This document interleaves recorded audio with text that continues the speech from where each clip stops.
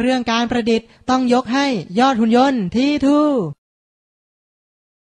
สวัสดีครับ เด็กๆ อาชีพเกษตรกรรมเป็นอาชีพหลักของคนไทยมาเป็นเวลานานแล้ว ในปัจจุบันคนหันไปทำอาชีพอื่นมากขึ้น แต่อาชีพเกษตรกรรมก็ยังมีความสำคัญเหมือนเดิม เพราะว่าเป็นอาชีพที่ผลิตอาหารมาเลี้ยงคนในประเทศ ภูมิปัญญาไทยที่เกี่ยวกับการเกษตรมีอยู่มากมายนะครับ เด็กๆ ได้แก่ การเกษตรแบบพอเพียงทั้งหลาย เช่น การทำไร่ส้ม การเลี้ยงสัตว์ เช่น การเลี้ยงหอยมุก การเลี้ยงปลาในกระชัง การเลี้ยงหมู คราวนี้เด็กๆ มาดูวิธีการทำน้ำสกัดจากสมุนไพร เพื่อป้องกันและกำจัดศัตรูพืชกันนะครับ วัสดุอุปกรณ์ที่เด็กๆ ต้องเตรียมก็คือ เมล็ดสะเดาสองกิโลกรัม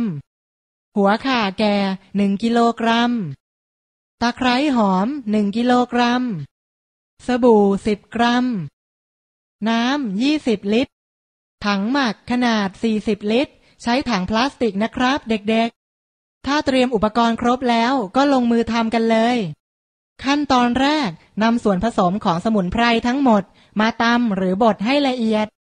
ขั้นตอนที่สองนำส่วนผสมที่บดละเอียดแล้วใส่ลงในถังหมัก เวลาเด็กๆจะใช้ก็กรองเอาน้ำสกัดสองลิตร ผสมน้ำยี่สิบลิตรนำไปฉีดพ่นศัตรูพืชทุกๆสามวัน ประมาณสองถึงสามครั้ง ศัตรูพืช เช่น หนอนชนิดต่างๆ จะหมดไป ทีทูยังมีภูมิปัญญาไทยอีกหนึ่งอย่างมาฝากเด็กๆนะครับ นั่นก็คือการทำปุ๋ยหมักแห้งชีวภาพ ก่อนอื่นเด็กๆ จะต้องเตรียมวัสดุที่ใช้ให้พร้อมดังนี้ครับ มูลสัตว์ต่างๆ เช่น มูลวัว มูลควาย ประมาณ 40 กิโลกรัม พืชวัตถุต่างๆ เช่น ใบไม้ รำ ขี้แกลบ ประมาณ 40 กิโลกรัม กากน้ำตาล ประมาณ 100 กรัม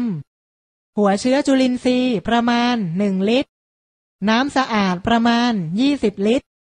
ขั้นตอนการทำเริ่มจาก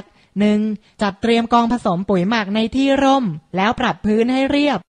2. ผสมมูลสัตว์กับพืชวัตถุให้เข้ากัน แล้วกองส่วนผสมสูงประมาณ 30 เซนติเมตร 3. ผสมกากน้ำตาลกับน้ำสะอาด และหัวเชื้อจุลินทรีย์ คลุกเคล้าให้เข้ากัน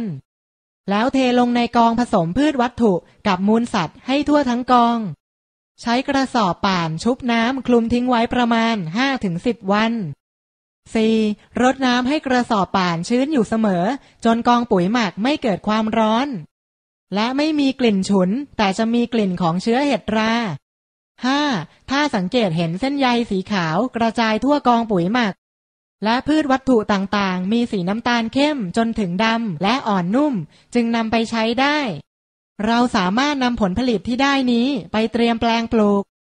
โดยใช้ประมาณหนึ่งบุ้งกีต่อพื้นที่หนึ่งคูณสี่เมตร คลุกเคล้ากับดินให้เข้ากัน จะใช้โรยบริเวณโคนต้นผักกินผล หรือผักในระยะติดผลหรือฝัก ใช้ประมาณ 50 กรัมต่อต้น หรือใช้โรยรอบทรงพุ่มประมาณเศษหนึ่งส่วนสองกิโลกรัมต่อต้น ในระยะออกดอกและติดผล เป็นยังไงบ้างครับ เด็กๆ ภูมิปัญญาคนไทยยอดเยี่ยมเลยใช่ไหมครับ เด็กๆนำความรู้ที่ได้นี้ไปบอกเพื่อนๆต่อด้วยนะครับ จะได้รับประทานผักผลไม้ที่ปลอดสารเคมีกัน สวัสดีครับ